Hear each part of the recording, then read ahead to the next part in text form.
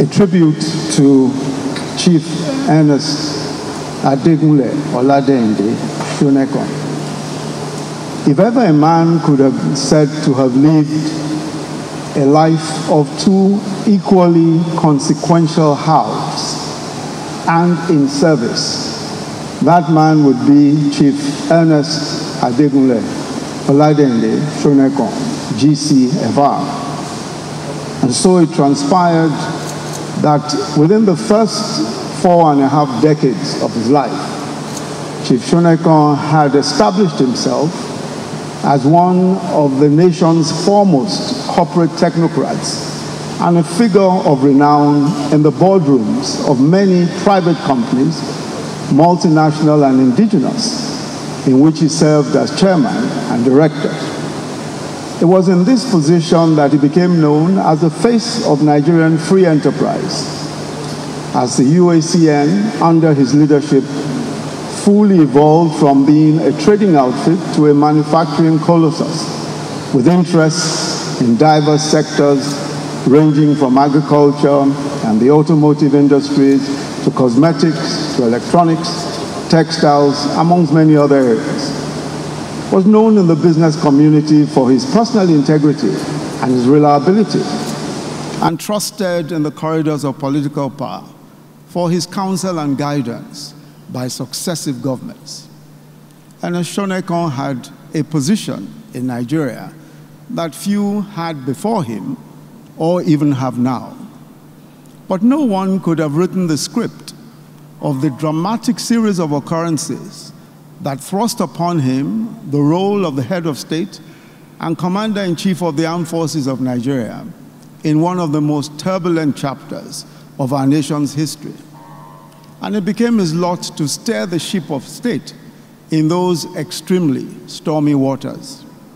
He was, in his own words, compelled by a sense of duty and responsibility to accept the role and give his best in shepherding his country through an experience unknown and unprecedented in our history. He once said in an interview shortly after he was named chairman of the Transition Council and head of government if your country needs you, leave everything and go and help. End of quote. He saw the government that he had been chosen to lead as he himself described it as, quote, a child of circumstance, and his mission as that of ending a cycle of instability, as he said, was, and I quote, leading progressively to a catastrophe. Chief Shonekan lived his life always conscious and motivated by a burden of duty.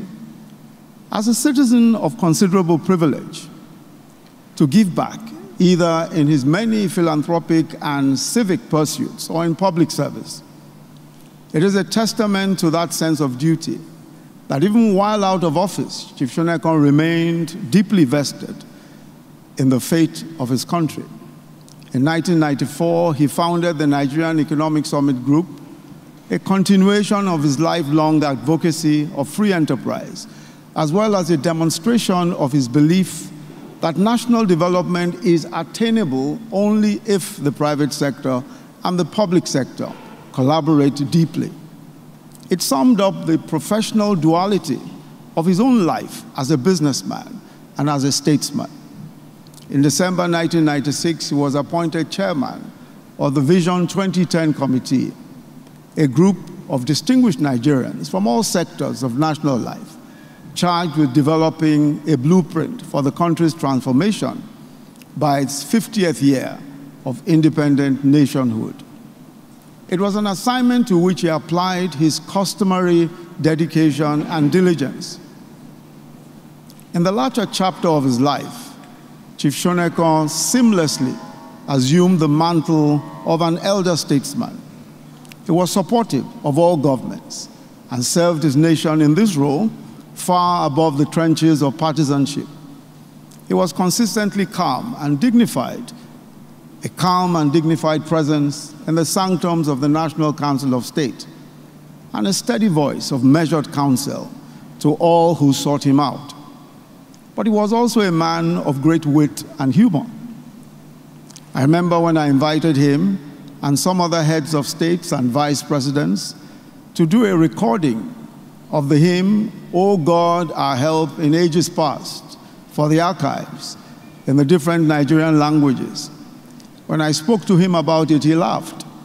And when I asked him why, he was laughing. He said, When you hear me singing, you too will laugh. Afterwards, he said, and uh, our dear mother, Mrs. Margaret Shonekan, was possibly one of the few witnesses to the rehearsals for the singing of that hymn. But afterwards, after we had all sang, he said, after hearing the others, he didn't think he did badly either. So we both laughed, and I said to him that in due course, if he groomed his very well known baritone, he might actually make the world stage. We had in that great choir General Yakubu Gowon, who is here today, Baba Olusegun Obasanjo, who also sang, uh, his, who sang his bit, Commodore Ebitu Ukiwe, and the late Dr. Alex Ekwueme, and General Oladipo Diya. In, due, in, in time, he would make so many other notable philanthropic and civic contributions to society.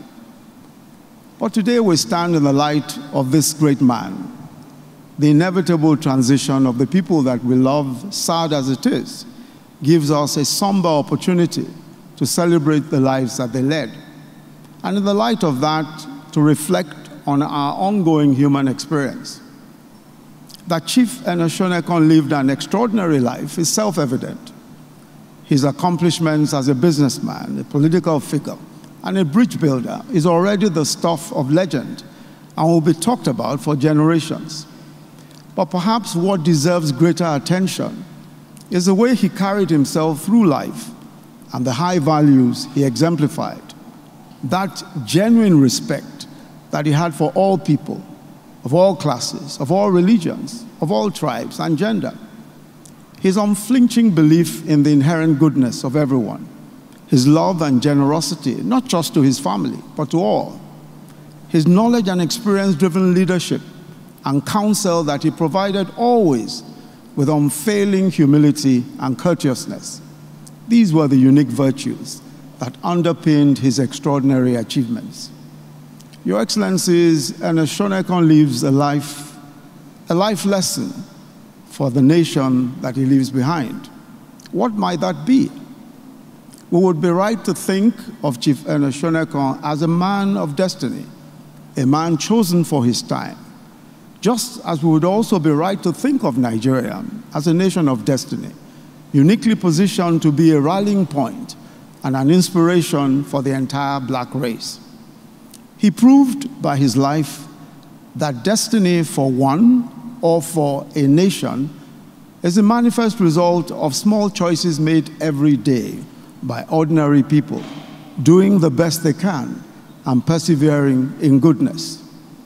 May his example endure in our individual and collective memories as we continue our journeys through life and nationhood.